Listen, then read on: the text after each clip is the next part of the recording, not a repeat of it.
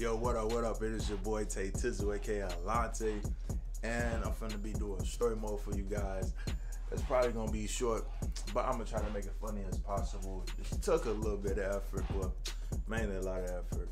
But you get the idea. Hopefully, the mic on here is not tripping. Nobody's not making that static noise. I hope not.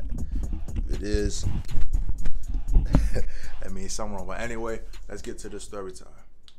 So I'm just walking in the hallway normal like usual, right? Like thinking it's gonna be a beautiful morning, like like the song, you know, right? So I'm gonna give me something to drink, you feel me?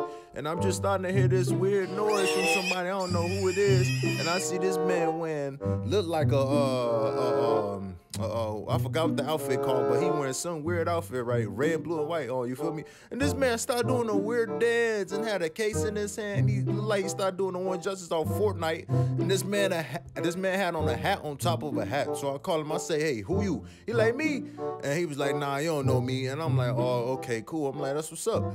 So then this man started acting funny. This man carry a case, right? I'm wondering, like, um, what you doing with that case there? So in my head, I'm like, "Oh no." I'm like, this man about to set me up. So I'm like, well, hold on, what should I do? And I think in my head, I'm like, you know what? I got an idea. So then I just hit dude. I just hit him with a, you know, you know, I hit the boy with a boom.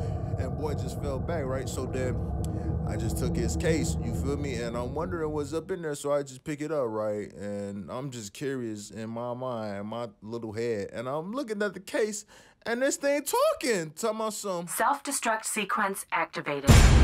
So you know what I had to do? I had to do the dash. Cause you know I ain't going for that. That's too dead.